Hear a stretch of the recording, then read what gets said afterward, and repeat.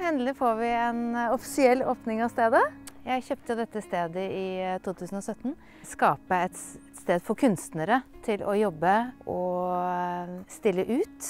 For det er litt lite atelier i Oslo og området. Eh, så jeg ønsket å hjelpe kunstnere å finne et sted eh, å være. Fant ut at dette er perfekt. Kort avstand til Oslo og gode muligheter til å bygge ut og eh, drive på mange forskjellige plan. Så nå, det har utviklet seg litt sånn etter prosessen, rett og slett. Bygget eh, boliger eh, som kunstnere kan bo i. Og så har jeg også bygget et stort atelier.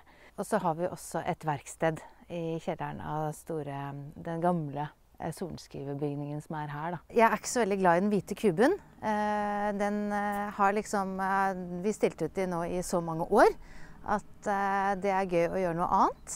Jeg er veldig fascinert av hvordan de jobbet i gamle dager, eller sånn, ja, 1600-1700-1800-tallet med å integrere kunst i bygningskroppene.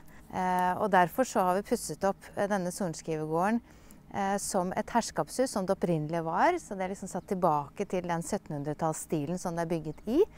Det som har vært litt utfordrende her, er at vi er de første. Sånn at vi må på en måte være med på å liksom få det her til å fungere rent praktisk. da det er jo et privilegium også å få lov å bli invitert og komme hit og bo her. Og vi har noen felles middager og har det fint sammen, da.